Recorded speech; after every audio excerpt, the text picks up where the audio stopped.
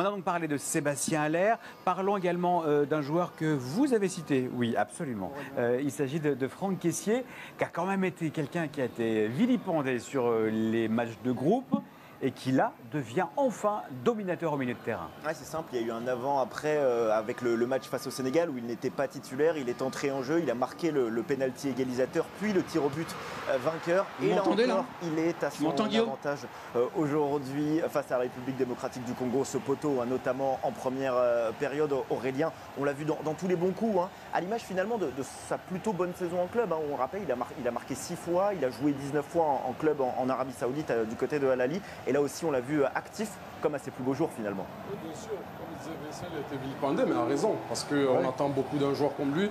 Il nous a habitués à mieux.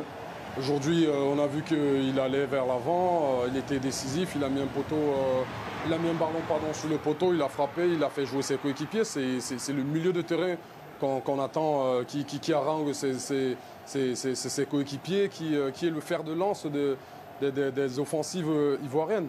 Aujourd'hui, nous a sorti euh, le caissier qu'on connaît. D'ailleurs, il a eu le, le trophée de meilleur joueur. Donc, c'était à raison, Ouais. en tout cas, que- qu'il a été, euh, comme vous l'avez dit, vilipendé parce que ses premiers matchs n'étaient pas de, de, de bonne copie. Euh, L'homme du match, effectivement, de cette rencontre, euh, Franck Caissier. C'est vrai qu'avant la compétition, on faisait volontiers de la Côte d'Ivoire un favori parce que justement, il y avait euh, pas mal d'atouts et notamment ce Franck Caissier costaud au milieu de terrain. Là, on retrouve une Côte d'Ivoire conquérante grâce à lui? Oui, oui, parce qu'au-delà de, de son activité dans, dans- dans le jeu, où il a, été, il a été très bon, il a été aussi très bon à la récupération, où il a, il a, il a fait énormément d'efforts. On l'a vu faire au moins 2-3 replis ou défensifs où on l'a sorti très très solide. Euh, Il a récupéré énormément de ballons, il a, il a, il a distribué, il a, il proposé, il s'est jamais caché. Donc, euh, euh, comme Isaac l'a dit, il y a eu un avant euh, euh, et un après caissier. Ouais. Et, et- et là, on le, on- on le retrouve tel qu'on le connaissait euh, au Milan AC ou, ou par, par, par moment au Barcelone, où on le voit avec énormément d'activité. Et c'est vrai que ce soir, il a été très très bon. Énormément d'activités euh, également pour le jeune Simon Adingra qu'on retrouve en interview avec Lilian Gatoun. Simon, on imagine, c'est en train de sortir du, du vestiaire que la joie est, est incroyable parce que cette équipe de Côte d'Ivoire, elle est passée par tous les états, mais ça y est, vous êtes en finale de votre canne. Ouais, bien sûr. Comme on le dit chez nous ici, le mental du fouet. On est, on est prêt, on a, on, a, on a vécu des difficultés et voilà, on a, on a travaillé et voilà, ça paye aujourd'hui, on est en finale.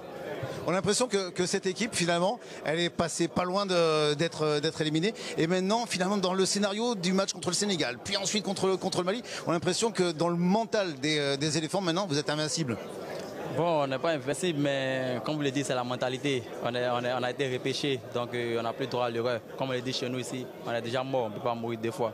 Donc euh, voilà, on prend tous les matchs euh, en très de sérieux. Même quand on est mené, on est concentré parce qu'on sait qu'à tout moment, on peut, on peut renverser la situation.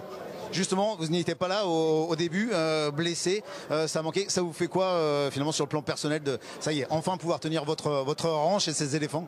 Ouais, c'est incroyable, c'est incroyable parce que comme je l'ai dit, j'étais blessé et voilà, il s'est venu.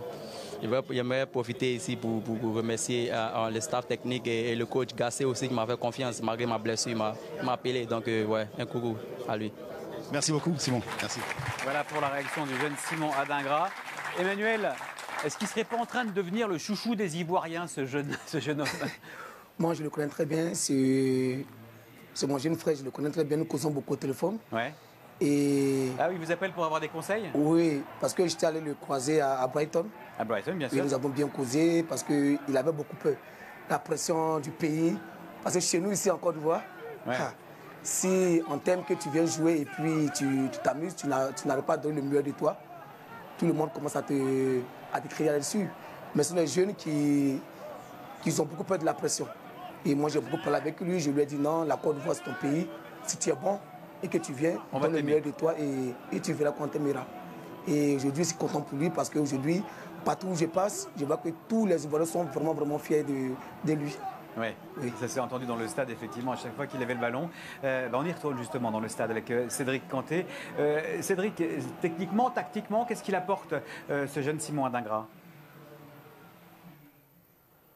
Bah, il apporte euh, de l'inconfort chez, chez l'adversaire. C'est un dynamiteur, mais comme devait l'être initialement euh, Boga ou Bamba, c'est un joueur dans le 1 contre 1 qui est capable euh, de débloquer des situations. À, l'image d'Aler, ses dernières rentrées avaient été plutôt intéressantes.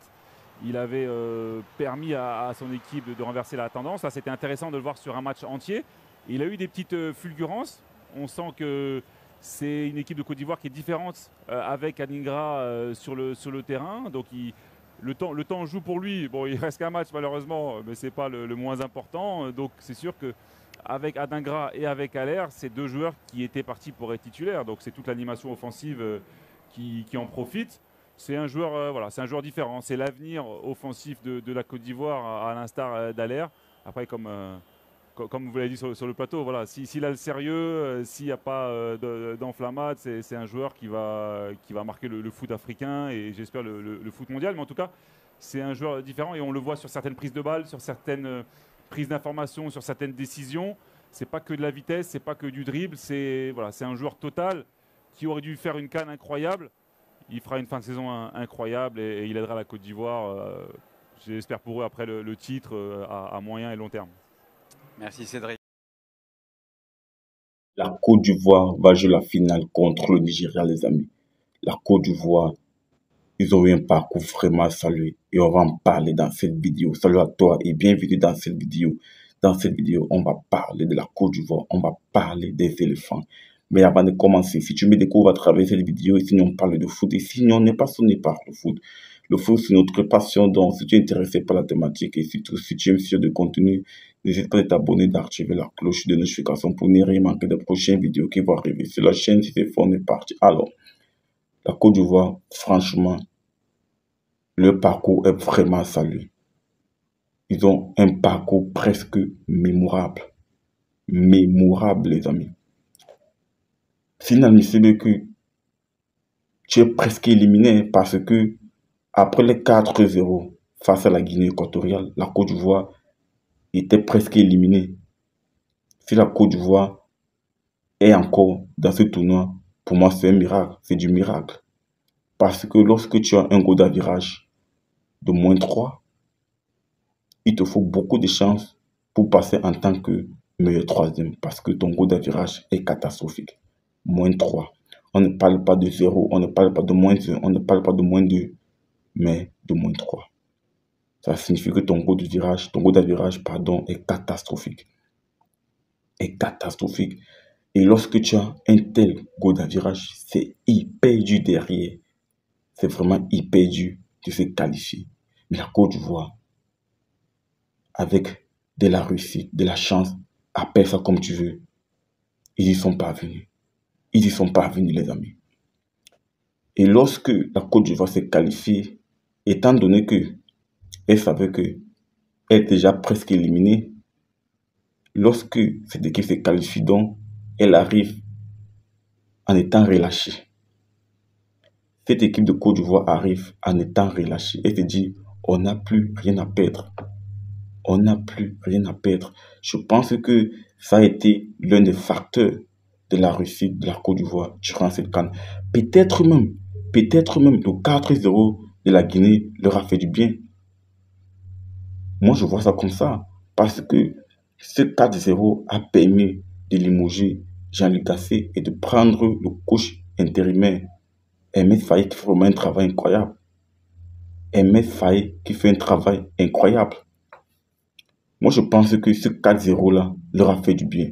Parce que s'ils avaient fait peut-être 1-1, s'ils avaient fait 1-1 face à la Guinée équatoriale, on devait conserver le coach. Et je ne suis même pas sûr que la Côte d'Ivoire devait battre le Sénégal.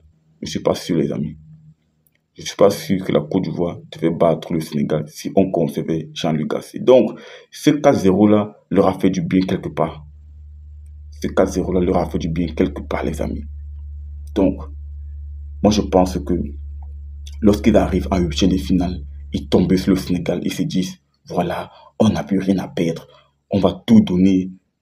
Et lorsqu'ils gagnent le Sénégal, là, pour moi, c'est le déclic. C'est carrément le déclic. Parce que battre le Sénégal, c'est vraiment une très grosse performance. Parce que le Sénégal sortait d'un parcours sans faute lors des poules. Ils ont gagné tous les matchs, 3 matchs, 3 victoires, 9 points, 8 buts marqués pour un but encaissé. 8 buts marqués pour un seul petit but encaissé pour le Sénégal.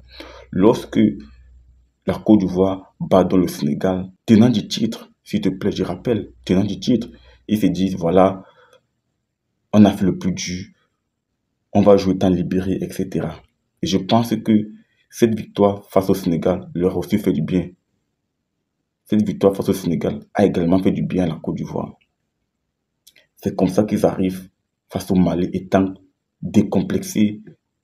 Ils jouent le football, ils battent le Mali à 10 contre 11. Ils battent le Mali à 10 contre 11, les amis. Ça montre aussi que cette équipe a vraiment du caractère parce que pour battre le Mali, pour battre même une équipe lambda à 10 contre 11, c'est hyper dur. Combien de fois, combien de fois le Mali, qui est pour moi l'équipe qui produisait le meilleur football durant cette canne, ils sortent le Mali. Ensuite, ils arrivent en demi-finale. Ils tapent la RD Congo avec de la maîtrise. Parce que face à la RD, ils ont vraiment maîtrisé. Ils ont maîtrisé vraiment la RD Congo. Donc, les amis, cette équipe de Côte d'Ivoire, le parcours est vraiment à saluer, les amis. Vraiment à saluer. Tu gagnes le Sénégal, tu gagnes le Mali, tu gagnes la RD, tu vas jouer la finale face au Nigeria. Chapeau. Donc, partage-moi ton ressenti en commentaire sur la thématique. Et si ce n'est pas encore fait, n'hésite pas à t'abonner, d'activer la cloche de notification pour ne rien manquer des prochaines vidéos qui vont arriver sur la chaîne. Si on se dit à très bientôt pour notre vidéo, les amis. Ciao, ciao.